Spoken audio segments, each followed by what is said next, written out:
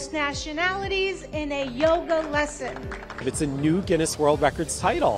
आज भारत का वज़ीर अजम नरेंद्र मोदी अमेरिका में आके अपने बच्चों के मुस्तकबिल का फैसला करके जा रहा है साडा वज़ीर अजम पेरिस पैसे इकट्ठे करन गया है कि यार लाइए मैं पैसे दे दे नवाज़ शरीफ ने पेरिस में भी चंद चढ़ा दिया है और ये कैसे हो सकता है कि पाकिस्तान का वज़ीर अजम बैरून मुल्क जाए वहाँ पर कोई ऐसी हरकत ना करे जिससे पूरी दुनिया पाकिस्तान का और पाकिस्तान के वज़ीर अजम का तमस्खर ना उड़ाए। एयरपोर्ट से लेकर वो जहाँ जहाँ गए हैं इंटरनेशनल योगा डे पर भी वो मेहमान थे। पिछले दिनों मेरी अपने दोस्त से बात हो रही थी तो वो बल्कि मुझे कह रहा था कि यार हम पाकिस्तान में क्यों पैदा हुए हम इंडिया में पैदा हो जाना चाहिए था कि वहाँ पे फ़ायदा है। और डेफिनेटली जब जिस कंट्री के अंदर आपको हर किस्म की सहूलियात होंगी तो क्यों ना बंदा वहाँ पे जाने का सोचेगा। हमारी जैसी यूथ तो आजकल ये सोच रही होती है कि हमारे पास कब वीज़ा है। हमें दीगर ममालिक से मिनतें करना पड़ रही हैं कि कोई जाके आईएमएफ के आगे हमारी तरफ़ से भीख मांग ले कि खुदा के लिए हमें कुछ दे दो। हम जिस रास्ते पे पचहत्तर साल रहे हम जहादी बनाते रहे मदरसे बनाते रहे हम अपने बच्चों को यूनिवर्सिटी स्कूलों में नहीं जाने देते रहे हम कॉन्सिक्वेंसेस भुल रहे हैं ना देख रहे हैं ना। आपको लगता है कि पाकिस्तान को भी एक नरेंद्र मोदी जैसे प्राइम मिनिस्टर के एक लीडर की ज़रूरत है? प्राइम मिनिस्टर मोदी ये दुनिया के पॉपुलर जो है ना प्राइम मिनिस्टर और ये मैं इनको जो है लाइक करता हूँ, दिल से लाइक करता हूँ। हेलो फ्रेंड्स जय हिंद। हिंदुस्तान स्पेशल में आपका स्वागत है दोस्तों। संयुक्त राष्ट्र में प्राइम मिनिस्टर मोदी का योग कार्यक्रम पूरा हो गया। इस दौरान प्राइम मिनिस्टर मोदी ने कहा, योग भारत से आया है, लेकिन ये कॉपीराइट फ्री है। मतलब सभी इसका इस्तेमाल बेहतर जीवन के लिए कर सकते हैं। अंतर्राष्ट्रीय योग दिवस पर यूनाइटेड नेशन हेडक्वार्टर में हुए कार्यक्रम का नाम गिनीज वर्ल्ड रिकॉर्ड में भी शामिल हो गया। यूनाइटेड नेशन में संबोधन में प्राइम मिनिस्टर मोदी बोले कि मुझे बताया गया कि आज यहाँ पर लगभग हर राष्ट्रीयता का प्रतिनिधित्व है। मोदी ने आगे कहा, योग का अर्थ है जोड़ना। आप एक साथ यहाँ आए, ये भी एक योग है। संयुक्त राष्ट्र में हुए योग कार्यक्रम ने एक बड़ा रिकॉर्ड भी बना दिया, जिसके लिए कार्यक्रम का नाम गिनीज वर्ल्ड रिकॉर्ड में शामिल हो गया। इस योग सेशन में सबसे ज़्यादा राष्ट्रीयता के लोग शामिल थे।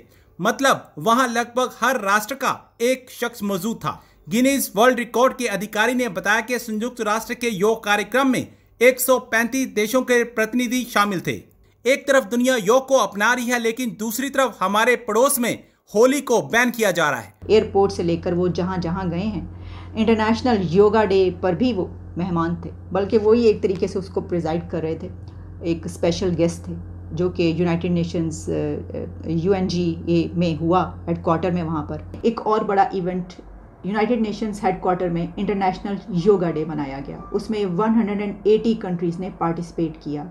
और यहाँ पर स्पीच करते हुए इंडिया के प्राइम मिनिस्टर मोदी का कहना था कि yoga has brought the world together it's truly universal and free from copyrights and patents yoga is portable and is truly universal इस इवेंट में उनके साथ deputy secretary general of the United Nations Amina, J. Mohammed और United Nations General Assembly president Csaba Korosi और रुचिका कम्बोज साथ थे।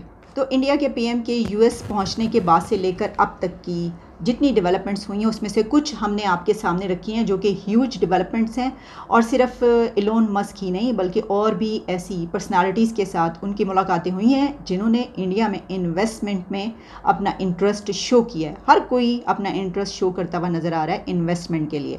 अभी हमने आपको अपने प्रीवियस प्रोग्राम में बताया था कि इंडिगो और एयरबस के बीच जो डील हुई है, वो भी कितनी बड़ी डील है, उसके हवाले से क्या इस वक्त पब्लिश हो रहा है। लेकिन इसी तरीके से पूरी दुनिया की और ख़ास तौर पर क्योंकि इस वक्त वो अमेरिका में हैं तो वहाँ पर जितने बड़े सेक्टर में बड़े ह्यूज बिजनेसेस हैं, वो सब ये चाहते हैं कि वो भी इन्वेस्टमेंट वहाँ पर करें, क्योंकि इससे उन्हीं को फ़ायदा है।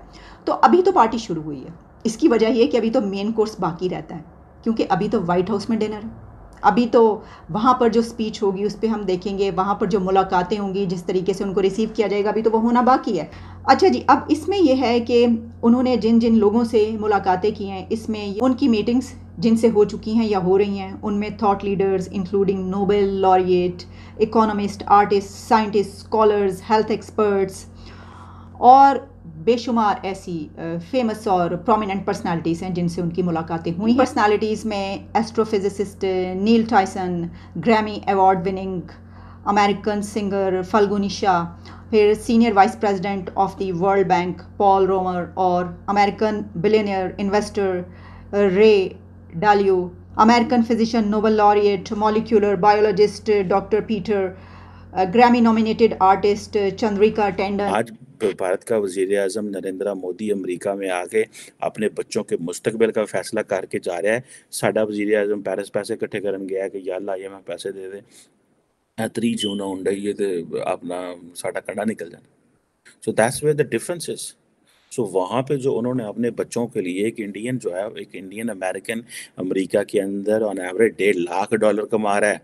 इतने चीनी भी नहीं कमा रहे और शायद कोई और भी ना कमा रहा हो। बट द क्वेश्चन इज़ कि हमारे हमारे पाकिस्तानी या हमारे जो लोग, हमारा वज़ीर अजम क्या कर रहे हैं? चॉइसेस हैं। The choices you make you look at your future जिस तरह की आप चॉइसेस देंगे, उस तरह का कि ये लोगों पर छोड़ दें यार, खुदारा, ये लोगों को फैसले करने दें, ये ठेकेदारी बंद कर दें, ये और ये जो मैडम जिसने ये सारा किया ना, ये सिर्फ़ और सिर्फ़ यकीन करके मैं आपको गारंटी से कह सकता हूँ ट्रस्ट मी मैं आपको गारंटी से कह सकता हूँ, कुछ भी नहीं था। सिर्फ़ इस मैडम के खातून में एक चीज़, दिमाग में चीज़ आई होगी। कि मेरी उम्र हो गई है मैंने साल दो में रिटायर हो जाना है और मैं कोई ऐसा काम कर जाऊँ जिसकी वजह से मैं जब आ, मेरी जान चली जाए या मैं अल्लाह को प्यारी हो जाऊँ तो मैं फिर वहाँ पे जाके बताऊँ देखो मैंने इस्लाम की तरवीज के लिए ये काम किया एंड देन मैंने हिंदुज़म को रोकने और बाकी मज़ाहब को टेक्निकल तरीके से करटेल करने के लिए वो उठा पाया गया। अवाम ने उसके ऊपर नोटिस ले लिया अवाम ने फैसला कर लिया अवाम ने नोटिस ले लिया। ठीक है जी। अवाम ने क्या यार है की तरीका और ये क्या चीज़ और ये किस तरह? ठीक है जनाब। तो ये चीज़ जो है, ये this is what I feel कि यार ये बड़ी अफसोसनाक बात है। इस इस वक्त जब कि पाकिस्तान की रियासत को क्या क्या करने की ज़रूरत है? पाकिस्तान की रियासत को क्या चीज़ें समझने की ज़रूरत है? ठीक है?